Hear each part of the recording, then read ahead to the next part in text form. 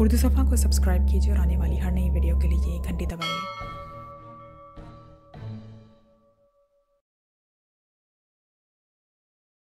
अब इन एजेंटों से पता चला है कि ईगल ग्रुप ग्राम सिटी में मौजूद है और तुम्हारे चीफ बॉस के मुताबिक पावरलैंड का हेडक्वार्टर भी ग्राम सिटी में ही कहीं मौजूद है। अब इस इतला का क्या मकसद हो सकता है? यही कि पावरलैंड वालों ने जब ट्रांसमिट फ्यूज सिस्टम खत्म किया तो पावरलैंड की हिफाजत के लिए ईगल ग्रुप को वहाँ बुलवा लिया। चनाचा तुम्हारे चीफ बॉस ने यह सारा खड़ाक इसलिए फैलाया है कि यहाँ ईगल ग्रुप के कुछ ना कुछ अफराद मौजूद होंगे जो अपनी चौधराहट पर जब किसी नए बी ग्रुप को काबू होता देखेंगे तो लाजिमन ईगल ग्रुप के हेडक्वार्टर को वहाँ ग्राम सिटी इतला देंगे। और इस तरह पी ग्रुप के बारे में इतला पावरलैंड के हेडक्वार्टर पर पहुँच जाएगी। और अगर इतला ना भी पहुँचे तो गुंडों की नफसियात के एन मुताबिक ईगल ग्रुप लाजिमन कुछ ना कुछ मुकाबला कर लेगा। चलाचा इस मुकाबले की तहत ईगल ग्रुप सामने आएगा। उसके सामने आते ही हमारा काम हो जाएगा कि हम ईगल ग्रुप को कैच करके उनके मेकअप में क्राम सिटी पहुँच जाएँगे। इस तरह हम वहाँ अजनबी ना रहेंगे और, और पावरलैंड की नज़रों में फ़ौरन आ सकेंगे। और फिर वहाँ पहुँचने के बाद पावरलैंड की तबाही के लिए मजीद इकदाम इतमान से किए जा सकते हैं। इमरान ने एक बार फिर तफसील बताई और अगर ईगल ग्रुप मुकाबले में ना आया तो जूलिया ने कहा यह तो वही बात है कि अगर शादी के बाद बच्चा पैदा ना हुआ तो? अरे शादी तो होने दो। बच्चा हो गया तो ठीक ना हुआ तो तब भी शादी तो हो ही जाएगी, इमरान ने कहा, और जूलिया का हाथ तेज़ी से अपने पैर की तरफ़ बढ़ा।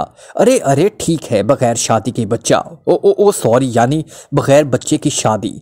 इमरान ने इस तरह बुखलाए हुए अंदाज में कहा कि जूलिया भी बेख्तियार छीम कर रह गई। चलो, अब तैयारी करो। आज हमने ईगल ग्रुप के खास अड्डे पर ब्लू रिबन बार में हंगामा करना है। सुना है, आज वहाँ कोई खास फ़ंक्शन है। इमरान ने यकलक कुर्सी से उठते हुए कहा तो क्या आज भी नया मेकअप करना होगा? सफदर ने उठते हुए पूछा, ज़ाहिर है, वरना पहले कल वो वाले गुंडे तो हमें देखते ही मशीन गनों के ट्रिगर दबा देंगे और हम क्लब को फ़ंक्शन देखे बगैर ही इन्ना लीला हो सकते हैं। इमरान ने मुस्कुराते हुए कहा, और सबने सर हिला दिए। ब्लू रिबन बार का मेन गेट खोलकर जैसे ही ब्राउन जैकी के साथ अंदर दाखिल हुआ, बार में मौजूद हर शख्स उस बुरी तरह चौंक उठा, जैसे उससे किसी भूत भूत को देख लिया हो। बार में कूचने वाले कह के और सरगोशियाँ यकलक थम गईं। यूँ लग रहा था जैसे हाल। पर किसी जादू गिरने की छड़ी घुमाकर सबको बेचान बुत्तों में तब्दील कर दिया हो। जैकी भी ब्राउनी की ये दहशत देखकर मुस्कुरा दी। उसे लम्हे काउंटर के पीछे खड़ा हुआ एक जा सा गुंडा बिजली किसी तेज़ी से उछला और काउंटर की साइड से निकलकर भागता हुआ ब्राउन की तरफ़ आ गया। उसके सामने तकरीबन रुकू के बल झुक गया। बॉस आप कहाँ चले गए थे? बॉस काउंटरमैन ने इंतहाई आजिसाना लहजे में कहा। बर्ट कहाँ है चेरी? ब्राउन ने मुस्कुराते हुए जवाब दिया। अंदर, दफ्तर में है, बॉस। मैं इतला करता हूँ, काउंटरमैन चेरी ने बुखलाए हुए अंदाज में कहा और उठकर तीर की तरह काउंटर के साथ मौजूद एक राहदारी में दौड़ता चला गया। मैडम, यह हमारा खास अड्डा है। इसका मालिक बर्ड ईगल ग्रुप का खास मुकदत है। ब्राउन ने मुस्कुराकर जैकी से मुखातिब होकर कहा। जैकी ने उसे चूँकि मना कर दिया था कि वो नाराक में इसका सिर्फ़ अपने दोस्त की हैसियत से ही तारुफ कराए। इसलिए ब्राउन के लहजे में मौतपानापन की बजाय बेतकल्फी का अंसर नुमाया था। मैंने महसूस कर लिया है, जैकी ने सर हिलाते हुए जवाब दिया। उसी लम्बे राहदारी में दौड़ते हुए कदमों की आवाज़ें सुनाई थी और दूसरे लम्बे एक लहीम शहीम गेंडे जैसे जिसम का मालिक, आदमी बेतहाशा भागता हुआ नमोदार हुआ। वो तीर की तरह ब्राउन की तरफ़ बढ़ा। ओ बॉस, आप आप आ गए। Very good. अब इस पी ग्रुप को पता चलेगा कि जवान किससे कहते हैं। इस गेंडे नुमा आदमी ने बेतहाशा हाथ मलते हुए कहा, पी ग्रुप क्या कह रहे हो? ब्राउन ने बुरी तरह चौंकते हुए कहा और पी ग्रुप का नाम सुनते ही जैकी भी बेख्तियार उछल पड़ी, क्योंकि हैनरी ने उसे पी ग्रुप को ही तलाश करने की हिदायत दी थी और यहाँ आते ही पी ग्रुप का नाम सामने आ गया था। यस, बॉस, यहाँ नाराक में इस नए ग्रुप ने एक उधम मचा रखा है। अब तक चार क्लब तबाह हो चुके हैं, जिनमें से एक मेरा क्लब जोसफिन क्लब भी है। वो हर रोज एक नए क्लब में जा धमकते हैं और फिर वहाँ एक कयामत टूट पड़ती है। बट ने कहा, ओ अच्छा अब मैं आ गया हूँ, देखता हूँ कि ये कौन लोग हैं। ब्राउन ने मुँह बनाते हुए जवाब दिया, आइए, बॉस, दफ्तर में तशरीफ़ लाइए। बट ने खुशामिदाना लहजे में कहा नहीं, हम यहाँ हाल में ही बैठेंगे। मिसे अलहदा लगवाओ, ब्राउन ने सख्त लहजे में कहा और बट ने सर हिलाते हुए वेटरों को अहकाम देने शुरू कर दिए और फिर चंद लम्हों में ही हाल के एक कोने को खाली करा लिया गया और ब्राउन और जैकी इस तरफ़ बढ़ गए। ब्राउन ने बाहर मौजूद अपने साथियों को भी बुलाने की वेटर को हिदायत की और चंद लम्हों बाद उसके आठ साथी भी अंदर दाखिल हुए और उन्होंने ब्राउन की हदायत पर अलहदा बिठा दिया गया। ये तो बड़ा अच्छा हुआ कि पी ग्रुप को ज़्यादा तलाश करना नहीं पड़ा। जैकी ने कुर्सी पर बैठते मुस्कुरा कर कहा यस मैडम वो खुद ही सामने आ गए हैं, ये अच्छा हुआ। लेकिन आपने तो कहा है कि इनसे मालूम हासिल करनी है। इसका मतलब है उन्हें ज़िंदा पकड़ना होगा। ब्राउन ने कहा, सारे ग्रुप को पकड़ने की क्या ज़रूरत है? उनके सरबराह को पकड़ना ही काफ़ी है। जैकी ने वेटर के लाए हुए चाम को उठाकर मुँह से लगाते हुए कहा, और ब्राउन ने इतमान भरे अंदाज में सर हिला दिया और सामने रखी हुई बोतल को उठाकर बराह रास्त मुँह से लगा लिया। क्योंकि क्लब के वेटर जानते थे कि ब्राउन किस कदर बिला है, इसलिए वो हमेशा इसके सामने सालम बोतल ही लाकर रखते थे। जबकि जैकी के लिए अलहदा जाम लाया गया। हाल में दोबारा बातचीत का सिलसिला चल निकला था, लेकिन इस बार आवाज़ें दबी दबी सी थी, क्योंकि वहाँ मौजूद तकरीबन सब लोग ही ईगल ग्रुप और ख़ास तौर पर ब्राउन के मुतलिक अच्छी तरह जानते थे कि वो किस कदर मुश्तिल मिजाज और हदछट आदमी वाक़ हुआ है। ज़रा सी बात पर वो आदमी को यूँ मार डालने का आदि है, जैसे इंसान की बजाय किसी मक्खी को मसल दिया जाए। थोड़ी देर बाद हाल का दरवाज़ा खुला और एक औरत और उसके साथ छह मर्द हाल में दाखिल हुए। इन सब का अंदाज ऐसा था कि वाज तौर पर मालूम होता था कि इनका ताल्लुक सिर ज़मीन दुनिया से है। एक नौजवान मर्द और औरत आगे आगे थे, जबकि बाकी पाँच अफराद इनके पीछे थे। औरत के साथ आने वाले मर्द यूँ आँखें छपका छपका कर हॉल को देख रहा था, जैसे वो ज़िंदगी में पहली बार किस कलम में आया हो। जैकी की नज़रें जैसे ही इस पर पड़ी, वो यकलख चौंक पड़ी। इसकी आँखों में ऐसे असरात उभर आए थे जैसे वो किसी तजबसब का शिकार हो। क्या बात है, मैडम? क्या आप उसे जानती हैं? ब्राउन ने मैडम को इस हालत में देखकर और ना सिर्फ़ चौंक कर पूछा, बल्कि वो भी उसको आने वाले ग्रुप को देखने लगा। जानती तो रही हूँ, बस उससे देखते ही अचानक। मेरे जहन में एक और आदमी की झलक उभरी थी। कदोकामत वही है। आँखें भी वही है, चेहरे पर मौजूद अहम को जैसी कैफियात भी वही है, लेकिन चेहरा और है। और दूसरी बात यह कि वो शख्स तो मर चुका है, जैकी ने सर हिलाते हुए कहा। वो ग्रुप अब उनके करीब ही मौजूद खाली मेज़ों की तरफ़ बढ़ रहा था। ये कौन लोग हो सकते हैं? अपने अंदाज से तो जेर ज़मीन दुनिया के लग रहे हैं। वह भी मकामी लोग, लेकिन मैंने उन्हें पहले कभी नहीं देखा। नहीं, ब्राउन ने मुँह बनाते हुए जवाब दिया। उसी लम्हे इस औरत के साथ ही मर्द ने मेज पर ज़ोर ज़ोर से मुक्के मारने शुरू कर दिए। उसका अंदाज बिल्कुल गंवारों जैसा था। अरे, कहाँ मर गया है वेटर? ये बार है या भंगड़ खाना? इस आदमी की तेज और गूंजती हुई आवाज़ सुनाई थी और हाल में मौजूद वेटरों के साथ साथ बाकी अफराद भी बुरी तरह चौंक कर उसकी तरफ़ देखने लगे, जबकि इस आदमी के बाकी साथियों के चेहरों पर हल्की सी मुस्कुराहट थी। यस, सर, एक वेटर ने तेज़ी से उसके करीब पहुँचते हुए कहा, सर यहाँ सर भी पकते हैं। लेकिन ये तो बार है, और मैंने सुना है कि बार में खाने की बजाय सिर्फ़ पीने की चीज़ें मिलती हैं। क्यों मैगी? इस आदमी ने करीब बैठी इस औरत से मुखातिब होकर कहा, कोक लाओ, हम सब के लिए। इस औरत ने इस आदमी की बात का जवाब देने की बजाय वेटर से मुखातिब होकर कहा, और वेटर कोक का लफ्ज़ सुनते ही यूँ पीछे हटा, जैसे उसे बिजली का ताकतवर करंट लग गया हो। वो अब कतरे दहशत भरी नज़रों से उन्हें देखने लगा। सुना नहीं, तुमने या तुम्हारी गर्दन कंधों से उखाड़ कर तुम्हें समझाऊं? इस आदमी ने एक बार फिर मेज़ पर जोरदार मुक्का मारते हुए कहा, इसकी ये ज़रूरत कि मेरी मौजूदगी में इस तरह रोप डाले। ब्राउन ने उखड़े हुए लहजे में कहा और कुर्सी से उछलकर खड़ा हुआ। बैठ जाओ ब्राउन, इसी तरह ख्वाम ख्वाम हंगामे की ज़रूरत नहीं, हमें सबसे पहले इस पी ग्रुप को तलाश करना है जैकी ने तेज लहजे में कहा। मैडम, ये मेरी तोहिन है कि मेरी मौजूदगी में कोई ऐसा रवैया इख्तियार करे। आप देख रही हैं कि सब लोग मेरी तरफ़ मुतवजा हो गए हैं। ब्राउन ने होंठ भींचे हुए कहा। उसी में राहदारी से बट नमोदार हुआ और फिर वो तेज़ी से कदम उठाता ब्राउन की तरफ़ बढ़ने लगा। उसके अंदाज में अजीब सी दहशत थी। ब्राउन से अपनी तरफ़ देखता देख कर दोबारा कुर्सी पर बैठ गया। इधर वेटर ने कोको कोला की बोतलें लाकर नए आने वालों के सामने रख दी। बॉस ये पी ग्रुप हो सकता है। ये लोग जहाँ भी जाते हैं कोक ही मांगते हैं और हमेशा उनके साथ एक औरत भी होती है और हर बार उनकी शक्लें मुख्तलिफ़ होती हैं। वर्ड करीब आकर दबे लहजे में नए आने वालों की तरफ़ इशारा करते हुए ब्राउन से मुखातिब होकर कहा और बट की बात सुनकर जैकी और ब्राउन दोनों ही चौंक पड़े। ओ अच्छा मैं देखता हूँ, ब्राउन ने तेज लहजे में कहा, फिर तेज तेज कदम उठाता, वो इस आदमी की तरफ़ बढ़ गया जिसने मेज पर मुक्के मारे थे। खड़े हो जाओ। तुम्हें मालूम नहीं कि ईगल ग्रुप का क्लब है और तुम्हें ये ज़रूरत कैसे हुई कि तुम ब्राउन की मौजूदगी में ऊँची आवाज़ निकालो? ब्राउन ने करीब पहुंचकर धारते हुए कहा, और क्लब में मौजूद हर शख्स के चेहरे पर अब ऐसे तासुरात नज़र आने लगे जैसे उन्हें इन नए आने वालों पर रहम आ रहा हो। ईगल। अरे बाप रे, ईगल तो बड़ा खौफनाक परिंदा है, लेकिन वो तो पहाड़ों में रहता है कलम में तो नहीं। कलम में तो कव्वे वगैरह रहते होंगे। इस आदमी ने बड़े खौफजदा अंदाज में हकलाते हुए कहा, लेकिन दूसरे में बिजली किसी तेज़ी से उछलकर एक तरफ़ हटा।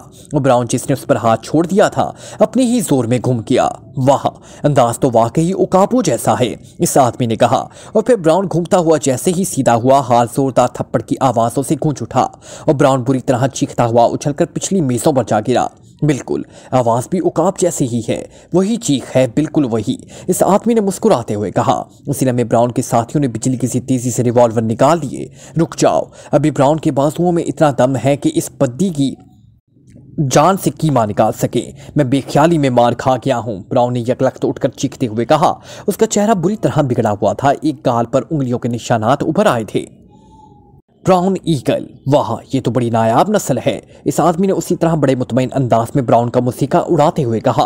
हाल में मौजूद अफराद इस दौरान उठकर तेज़ी से दीवारों के साथ चिमट गए थे और वेटरों ने यूँ बिजली की सी तेज़ी से मेज कुर्सियाँ हटाना शुरू कर दी थी, जैसे अभी बार में आग लगने वाली हो। और वो इससे पहले अपना फर्नीचर बेचा, बचा लेना चाहते हों। ब्राउन के साथियों की तरह इस आदमी के साथियों ने भी रिवॉल्वर निकाल लिए थे, लेकिन वो खामोश थे। सुनो, क्या तुम्हारा ताल्लुक पी ग्रुप से है? ब्राउन ने होंठ काटते हुए कहा। वाह, ब्राउन ईगल तो बड़ा खबरदार परिंदा है। वाकई ही मेरा ताल्लुक पी ग्रुप से है और मैं पी अलेवन हूँ। इस आदमी ने मुस्कुराते हुए जवाब दिया, ठहरो, लड़ने की ज़रूरत नहीं है, मुझे बात करने दो। अचानक एक तरफ़ खड़ी जैकी तेज़ी से चलती हुई उनके करीब आ गई। पी अलेवन और उसके साथ ही चौंक कर जैकी को देखने लगे। सुनो, मेरा नाम जैकी है। मैंने पी ग्रुप की बड़ी तारीफें सुनी है। मेरा ताल्लुक पाचान से है। मैं यहाँ ब्राउन की मेहमान हूँ। क्या ऐसा नहीं हो सकता कि हम बजाय लड़ने के दोस्तों की तरह बैठकर एक दूसरे से बात करें? जैकी ने मुस्कुराते हुए कहा मैकी से पूछ लो? अगर ये राज़ी हो तो मुझे कोई एतराज़ नहीं। वैसे ये हड़बड़ किस्म की लड़की है। पी एलेवन ने मुस्कुराते हुए करीब खड़ी अपनी लड़की की तरफ़ इशारा करते हुए कहा, बकवास मत करो। ख्वाम खा एक नया अजाब अपने गले में डाल रहे हो। हमारा पी ग्रुप से क्या ताल्लुक हो सकता है? हमने भी तुम्हारी तरह पी ग्रुप की तारीफें सुनी हैं। हम ईस्ट एक्रीमिया से आए हैं। उसने मुँह बनाकर पी इलेवन को डांटते हुए कहा, मैडम इससे कहो, मुझसे माफ़ी मांगे, वरना मैं उसकी पोटियाँ उड़ा दूँगा। ब्राउन ने गुस्से से चीखते हुए कहा, उसका खून वाकई बुरी तरह खोलकर भूरे भरे कलम में इस आदमी ने उसे थप्पड़ मार दिया और जैकी अब उससे बातें कर रही थी। लेकिन वो जानता था कि जैकी की हैसियत क्या है, इसलिए उसने अपनी इज़्ज़त बहाल करने का यही तरीका निकाला था। मैं उसकी तरफ़ से मुआफ़ी चाहती हूँ, मिस्टर ब्राउन। दरअसल गलत फहमी की वजह से हो गया। मेरा ख्याल है ये पी ग्रुप वाला चक्कर हमारे मंगवाने की वजह से पैदा हुआ है, क्योंकि अब मुझे ख्याल आ रहा है कि पी ग्रुप भी जहाँ जाता है कोक ही मंगवाता है लेकिन ये महज इतफाक है। हमारे पास रकम की कमी हो गई थी इसलिए हमने फैसला किया था कि जब तक पीछे से रकम ना आ जाए हम कोक पीकर ही गुजारा करेंगे। मैगी ने कहा, ओ कोई बात नहीं रकम की परवाह ना करो और ब्राउन सुनो इससे माफ़ी मांग ली है अब तुम्हें भी गुस्सा थूक देना चाहिए जैकी ने ब्राउन से मुखातिब होकर कहा। ठीक है मैडम आप मेरी मेहमान है इसलिए मैं आपकी बात नहीं टाल सकता। ब्राउन ने होंठ चबाते हुए जवाब दिया। इसका अंदाज बता रहा था कि उसने बड़ी मुश्किल से अपने गुस्से को कंट्रोल में किया हुआ है। कमाल है। यहाँ थूकेगा। इतनी साफ़ जगह पर। अरे नहीं, सफ़ाई का ख्याल रखना बेहद ज़रूरी है। पी एलेवन ने हैरत भरे अंदाज में इधर उधर देखते हुए कहा, आइए, आप हमारे साथ बैठिए। आ जाइए जैकी मैगी का। हाथ पकड़ते हुए कहा और साथ ही उसने पी एलेवन को भी इशारा किया और फिर वो दोनों कदम बढ़ाते जैकी वाली मेज़ पर आ गए। ब्राउन उनके पीछे था। उनका खतरा टल जाने की वजह से वेटरों ने दोबारा मेज़ कुर्सियाँ सीट दोबारा सेट करने शुरू कर दी। अगर आप बैठना चाहें तो मेरा दफ्तर हासिल है। अचानक एक तरफ़ मुड़े बर्ट ने आगे बढ़कर मौतबाना लहजे में कहा, नहीं, हम यहीं बैठेंगे और सुनो, अच्छी सी विस्की लाओ। जैकी ने कुर्सी पर बैठते हुए कहा विस्की अरे नहीं मिस मैकी वो किस्म पी एलेवन ने मुँह बनाते हुए मैगी से मुखातिब होकर कहा सॉरी मिस जैकी हमने वाकई ही कसम खाई हुई है कि जब तक पीछे से रकम नहीं आएगी, सिर्फ़ कोक पियेंगे। मैगी ने सर हिलाते हुए कहा, ओके, जैसे आपकी मर्ज़ी, जैकी ने सर हिलाते हुए कहा। आपने अपना नाम नहीं बताया, जैकी ने गौर से मैगी की साथी की तरफ़ देखते हुए कहा। नाम? दरअसल मेरे वालदेन फ़लसफ़ी किस्म के लोग थे, इसलिए वो नाम के कायल ही नहीं। मैं उनका इकलौता बचा हूँ, इसलिए वो मुझे बस शहजादे के नाम से पुकारते थे। आपका नंबर कौन सा है, मिस? इस आदमी ने मुँह बनाते हुए कहा। मेरा नंबर नहीं नाम है, मिस्टर वन, जैकी ने मुस्कुराते हुए कहा। अच्छा मिस जैकी, हमें इजाज़त दीजिए। यहाँ झगड़े की वजह से मूड ऑफ़ हो गया है। मैगी ने यकलख्त उठते हुए कहा, कम अज़ कम अपनी रिहाइश कहा तो बता दीजिए ताकि फिर किसी वक्त मुलाकात की जा सके। जैकी ने मुस्कुराते हुए कहा, होटल हिल्टन में रह रहे हैं, लेकिन अब रकम कम हो गई है तो ज़ाहिर है कि और सस्ते होटल में शिफ्ट हो जाएँगे। Good boy. मैगी ने जल्दी से उठते हुए कहा और उठकर दरवाजे की तरफ़ बढ़ गई और वो मिस्टर वन भी सर हिलाता हुआ उसके पीछे चल पड़ा। उन्होंने अपने साथियों को भी इशारा किया और वो भी उनके पीछे चल पड़े। इनमें से एक ने जेब से एक नोट निकालकर मेज पर रखी, एशरे के नीचे दबा दिया। ये पी ग्रुप है मिस जैकी, हमें उनका ताकुब करना चाहिए। ब्राउन ने उनके दूर जाते होंठ भींचते हुए कहा, बाहर तुम्हारा कोई आदमी मौजूद हो तो उसे पैगाम भिजवा दो कि एहतियात से इनका ताकुब करे। मैं चीफ बॉस को एक फ़ोन कर लूँ। मुझे एक और शक हो रहा है। कि जैकी ने जल्दी से कहा और उठकर तेज़ी से हाल के एक साइड पे मौजूद पब्लिक कॉल हाउस के कमरे की तरफ़ बढ़ गई। उसके चेहरे में शदीद जोश के आसार नुमाया थे। उसने जल्दी से रिसीवर उठाया और सिक्के डालकर नंबर घुमाने शुरू कर दिए। Yes, Henry attending. चंद लम्बों बाद ही हेनरी की हैरत भरी आवाज़ सुनाई दी, क्योंकि बरह रास्त खून फ़ोन कॉल हेडक्वार्टर में कम ही की जाती है। जैकी बोल रही हो, हेनरी नाराग से, एक अहम खबर है तुम्हारे लिए, जैकी ने तेज तेज लहजे में कहा। क्या खबर है? तफसील से बात करो। हेनरी ने चौंकते हुए कहा यहाँ मैंने पी ग्रुप को तलाश कर लिया है। ये एक औरत छह मर्दों पर मुश्तमिल है। लेकिन सिवाय इस औरत के बाकी सब मेकअप में है। और सुनो, इस पी ग्रुप में इस औरत को एक साथ ही और हु बहु वो इमरान जैसा है, जिसे तुमने डिगोरा के साथ हलाक किया था। वही कदो कामत, वही चेहरे की कशोनैश और फिर वो भी मेकअप में था। तुम जानते हो कि मेकअप के सिलसिले में मेरी मालूम किस कदर गहरी है। मुझे यकीन है कि ये शख्स जो अपना नाम मिस्टर वन बता रहा था, दरअसल वो इमरान है। जैकी ने तेज तेज लहजे में कहा क्या कह रही हो, जैकी? क्या तुम होश में हो? जब वहाँ जाकर मेरे आदमी ने रिपोर्ट दी है कि इमरान हलाक हो चुका है, फिर ये कैसे हो सकता है? कि वो ज़िंदा होकर ना सिर्फ़ यहाँ पहुँच जाए, बल्कि वो पी ग्रुप बनकर हेडक्वार्टर में ट्रांसमिट कॉल भी करे। हेडक्वार्टर मखसूस फ्रिक्वेंसी टिगोरा को भी मालूम नहीं थी कि मैं समझता कि उसने टिगोरा से पहले ही फ्रिक्वेंसी मालूम कर ली होगी। हेनरी ने तकरीबन चीखते हुए जवाब दिया, शायद उसे जैकी की बात का यकीन ना आ रहा हो। यकीन करो या ना करो, तुम्हारी मर्ज़ी। बहरहाल, मेरी नज़र धोखा नहीं खा सकती। तुम्हें मेरी इन मखसूस सलाहियतों का इल्म ही नहीं है। बुरा मनाने वाले लहजे में जवाब देते हुए उसने कहा, ओह, अगर तुम इतने दावा से कह रही हो तो फिर ऐसा भी हो सकता है। इमरान जैसे आदमी से कुछ बैद नहीं है। और अगर इसने पी ग्रुप में ट्रांसमिट कॉल की है तो फिर यूँ समझो उसे हमारे हेडक्वार्टर के महल वकू का भी इल्म हो गया है। और अब उसकी नाराग सिटी में मौजूद की है तो वो एक और चक्कर चलाना चाहता है। एनी ने तेज लहजे में कहा, क्या चक्कर चलाना चाहता है? मैं तो नहीं समझी। वो पी ग्रुप बनकर नाराग के कल्बों में उधम मचाता फिर रहा है तो इससे हेडक्वार्टर पर क्या असर पड़ सकता है? जैकी ने मुँह बनाते हुए कहा, तुम उसकी जहानत को नहीं समझती, वो इंतहाई गहरा आदमी है। अब मैं तुम्हें बताना चाहता हूँ कि उसने क्या चक्कर चला रखा है और वो क्या चाहता है।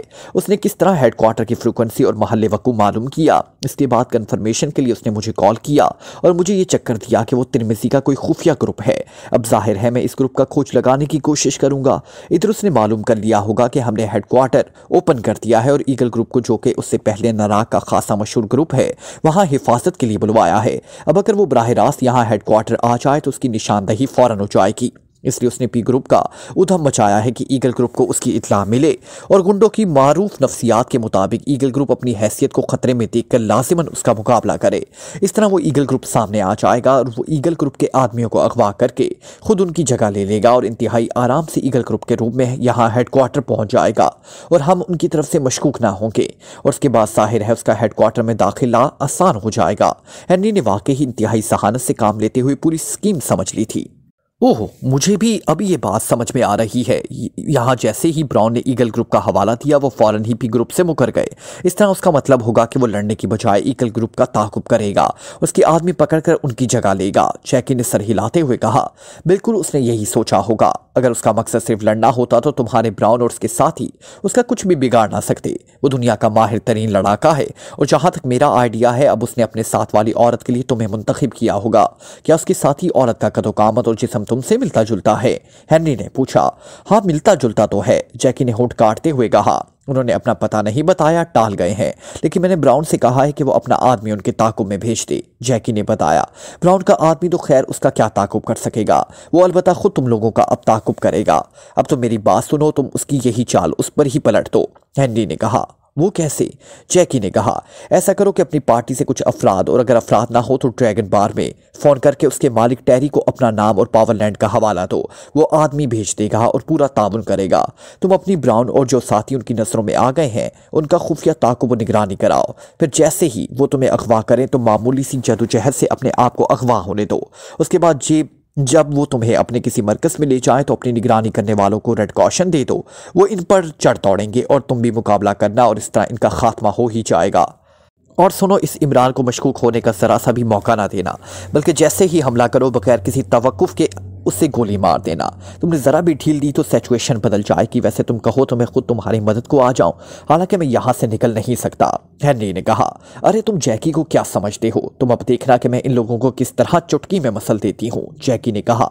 और साथ ही रस्सी रसीवर रखकर वो बॉथ से बाहर आ गई। ब्राउन अपनी मेज पर मौजूद था। जैकी तीस तीस कदम उठाती, उसके पास पहुँची। मैंने दो आदमी उनकी ताकों में रवाना कर दिए हैं। ब्राउन ने उसके करीब पहुँचते ही उसे इतला दी। मैंने चीफ बॉस से बात की है और सूरत हाल बदल गई है। मेरी बात गौर से सुनो। अब चीफ बॉस पर, बरहम पर हमने अपनी सलाहियतें साबित करनी है। जैकी ने होट काटते हुए कहा, फिर उसने पाकिस्तान सीक्रेट सर्विस और इमरान के मुतलिक बताने के साथ साथ चीफ बॉस का प्लान भी उसे बता दिया। तो आपका मतलब है ये लोग एक्रीमिया नहीं है, बल्कि एशियाई हैं। नहीं, मैडम। उनकी आवाज़ और लहजा तो बिल्कुल मकामियों जैसा है। ब्राउन ने बुरी तरह हैरान होते हुए कहा, वो दरअसल सीधी सादी लड़ाई लड़ने का आदि था। ये जासूसी अंदाज के दाव पेच वो सिरे से जानता ही ना था। इसलिए उसका दिमाग ही इस सारी प्लानिंग से घूम गया था। तुम इन बातों को नहीं जानते, ये सब लोग मेकअप में थे। बहरहाल, अब हमने इस प्लानिंग के तहत काम करना है, जैकी ने कहा। मैडम, अगर आप नाराज़ ना हो तो मैं एक बात कहूँ। ब्राउन ने होठ भींचते हुए कहा हाँ बताओ। जैकी ने सवाल या लहजे में पूछा, मैडम, आप एक तरफ़ हट जाएँ, मेरे आदमी उनका पता मालूम कर लें। उसके बाद देखें मैं उनकी बोटियाँ कैसे उड़ाता हूँ।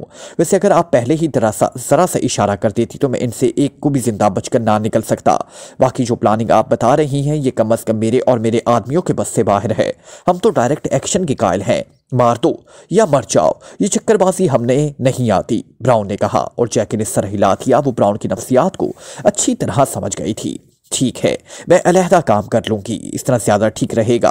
अगर तुम उन्हें ना मार सके तो मैं उनका खात्मा कर दूँगी। अगर मुझे एक बार और फ़ोन करना पड़ेगा तो मेरे बात से बाहर आने से पहले बाहर आ, ना जाना जैकी ने कहा। और आउट कर दोबारा बोत की तरफ़ बढ़ गई उसने बोत में दाखिल होकर एक्सचेंज से ड्रैगन बार का नंबर मालूम किया और फिर वो नंबर घुमा दिया। यस ड्रैगन बार रबता कायम होते ही दूसरी तरफ़ से एक भारी आवाज़ सुनाई दी। टेरी से बात कराओ। उसे कहो कि मैडम जैकी पावरलैंड जैकी ने इंतहाई तहमकाना लहजे में कहा क्योंकि बहरहाल वो पावरलैंड की डायरेक्टर थी। ओह यस मैडम एक मिनट होल्ड करें मैडम दूसरी तरफ़ से बोलने वाले ने बुरी तरह घबराए हुए लहजे में कहा और जैकी की लबों पर फातिहाना मुस्कुराहट रेंगने लगी। यस टेरी अटेंडिंग ओवर चंद लम्बों बाद एक और आवाज़ सुनाई थी इस आवाज़ में भी घबराहट का अंसर मौजूद था। मैडम जैकी पावरलैंड। जैकी ने उसी तरह तहमकाना लहजे में कहा, यस मैडम, हुक्म फरमाए मैडम। टेरी ने इंतहाई मौतबाना लहजे में जवाब देते हुए कहा, सुनो, यहाँ एक पार्टी आई हुई है पावरलैंड के खिलाफ। मैंने उसके खिलाफ वर्क करना था, तुम ऐसा करो। दस अफराद को जो हर किस्म के कामों में माहिर हो, लेकर मेरे पास ब्लू रिबन बार में पहुँच जाओ। वो पार्टी मेरा ताकुब करेगी और हमने इस पार्टी को घेरे में लेकर इनका खात्मा करना है। ये पार्टी एक औरत और छह मर्दों पर मुश्तमिल है और इंतहाई खतरनाक लोग हैं। जैकी ने कहा, मैडम, आप दरमियान में क्यों पड़ती हैं? आप इस पार्टी की निशानदही कर दें मेरे आदमियों ने चुटकियों में मसल देंगे, टेरी ने कहा। इस निशानदही के लिए तो सारी गेम खेली जा रही है। मेरी बात गौर से सुनो। मैं जैसे ही ब्लू रिबन बार से बाहर निकलूँगी, वो पार्टी मेरा ताकुब करेगी और हो सकता है मुझे अगवा करने की कोशिश करे। मैं मामूली सी जदोजहद से अगवा हो जाऊँगी, तुम्हारे आदमी। इस दौरान साय की तरह उनके पीछे रहेंगे, जैसे ही वो मुझे अपने किसी मरकज में ले जाएँगे। मैं तुम्हें रेड कॉशन दूँगी और तुम अपने आदमियों समेत रेड करना, जैकी ने कहा। मैडम, इसमें आपके लिए खतरा हो सकता है। इस प्रोग्राम को दूसरी तरह ना पूरा कर लिया जाए कि जैसे ही वो पार्टी आपका ताकुब तो करें, हम उन्हें अगवा कर लें। और फिर इन पर तशद करके उनका मरकज और उनके बाकी आदमियों का पता मालूम करके उनका खात्मा भी किया जा सकता है। टेरी ने जवाब दिया। टेरी का जवाब बता रहा था कि वो वाकई इस किस्म के कामों का माहिर है। ओह, यस, ये भी ठीक रहेगा। लेकिन फिर मेरे खुद सामने आने की भी ज़रूरत नहीं है। तुम ईगल ग्रुप के लीडर ब्राउन को जानते हो, जैकी ने कहा।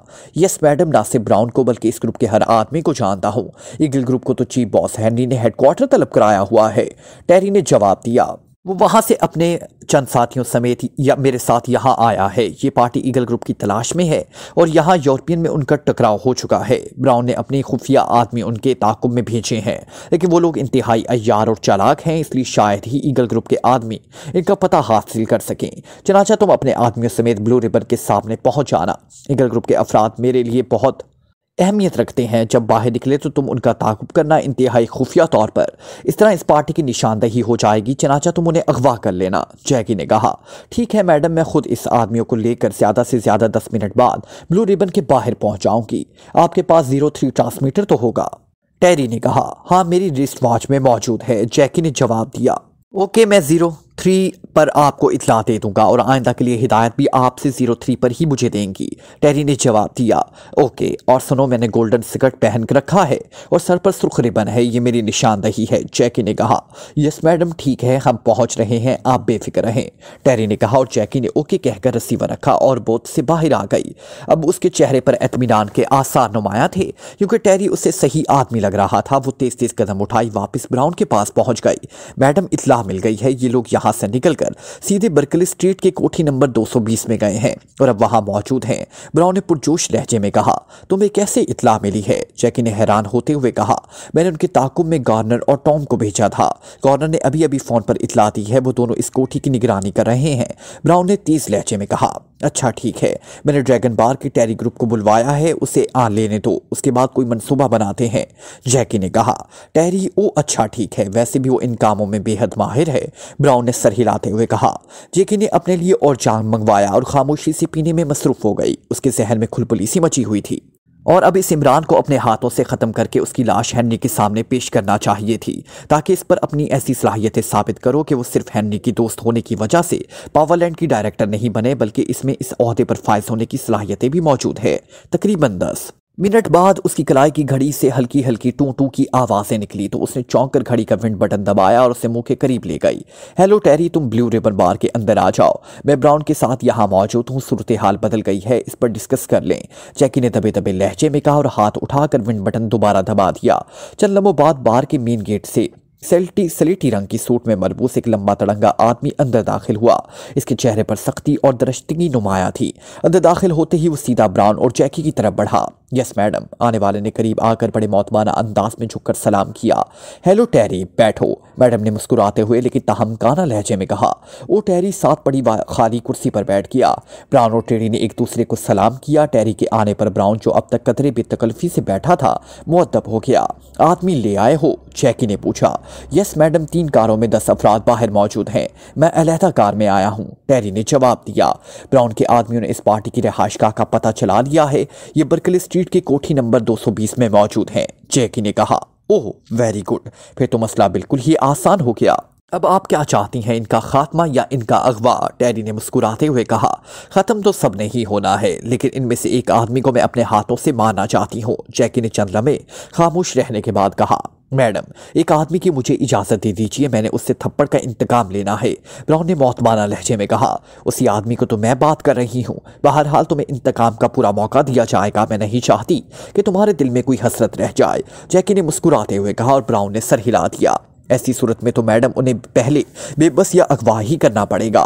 टेरी ने जवाब दिया हाँ ऐसा ही होना चाहिए। तुम लोगों ने उन्हें अगवा करके वहाँ से किसी महफूज मरकज पर ले जाना है, ताकि वहाँ हम तिल खोल कर इनसे इंतकाम ले सकें। जैकी ने कहा तो फिर ब्राउन के ग्रुप की बजाय मुझे काम करने दीजिए। ब्राउन का ग्रुप जिस काम का आती है, इस सूरत में एक भी ज़िंदा ना रहेगा। टेरी ने मुस्कुराते हुए कहा, और ब्राउन ने भी मुस्कुरा दिया। तुम क्या करोगे? जैकी ने कहा, बड़ी आसानी से बात है। मैं इस कोठी के अंदर फौरी बेहोश कर देने वाली गैस की बम फेंकूँगा और उसके बाद अंदर दाखिल होकर उन्हें आसानी से ले उड़ेंगे।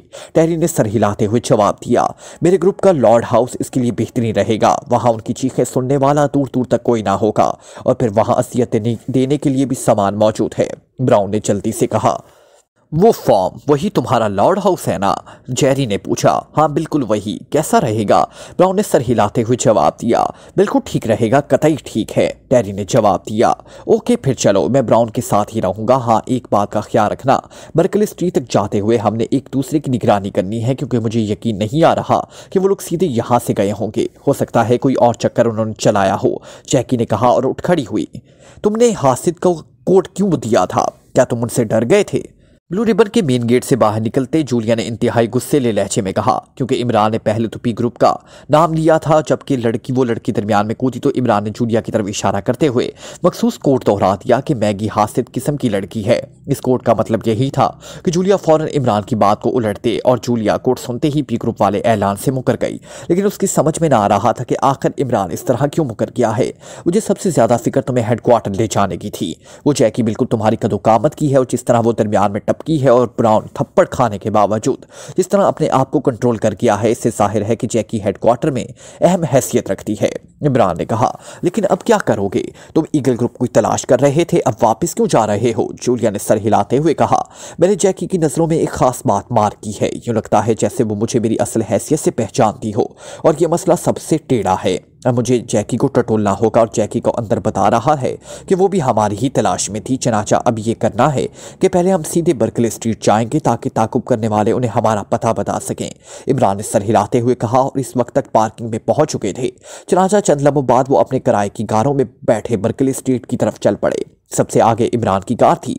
जूलिया उसके साथ ही थी। वहाँ पहुंचकर क्या होगा? जूलिया ने चंद में खामोश रहने के बाद पूछा, या शादी होगी या ना होगी? इमरान ने मुस्कुराते हुए कहा और जूलिया ने, मुन्ना का मुँह सड़क की तरफ़ कर लिया। इससे इमरान की इस उलट फेर पर गुस्सा आ रहा था कि खुद ही एक मिशन बनाता है और जब उसके पूरे होने का वक्त आता है तो खुद उसे छोड़कर दूसरे चक्कर में पड़ जाता है। बर्कल स्ट्रीट की कोठी में पहुँचते ही इमरान ने फाटक बंद करने का हुक्म दिया और फिर इन सबको लेकर वो बड़े कमरे में पहुँच गया। अब मेरी बात गौर से सुनो। अब हमने इन लोगों को ट्रैप करना है, ताकि उनके मेकअप में हम हेडक्वार्टर पहुँच सके। वो लाजमन हमें ट्रैप करने की कोशिश में है। मैंने उनके दो आदमी चेक कर लिए हैं, सफ़ेद और नीली कार वाले। वो यहाँ तक हमारे ताकुब में आए हैं। अब वो हम पर रेड करेंगे। इसलिए अब तरीका कार ये होगा कि आप यहाँ से अपना तमाम सामान उठाकर खुफिया रास्ते से बाहर निकलेंगे और एल्फ्रेड हाउस पहुँच जाएँगे। वहाँ पहुँचते ही आप लोगों ने नया मेकअप कर लेना है। मैं यहाँ से निकलकर उनकी निगरानी करूँगा और फिर उनका ठिकाना चेक करके उन पर हम रेड करेंगे। मैं ज़ीरो सिक्स पर तुम लोगों से रबता कायम करूँगा।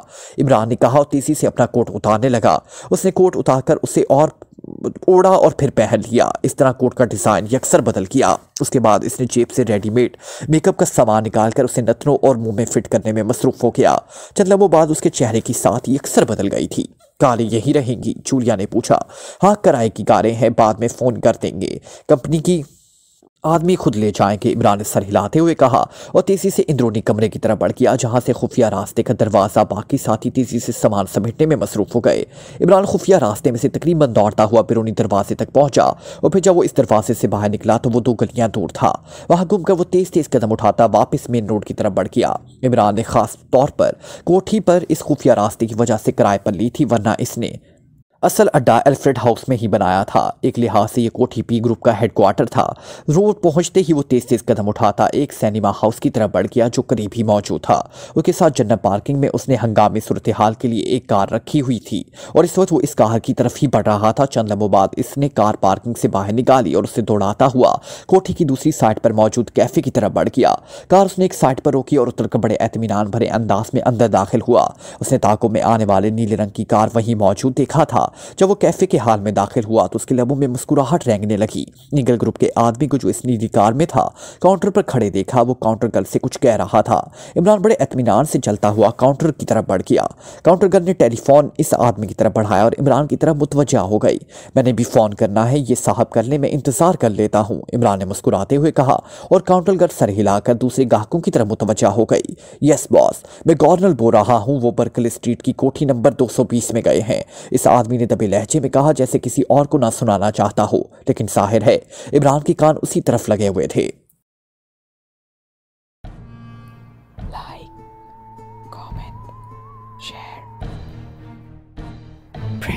The bell icon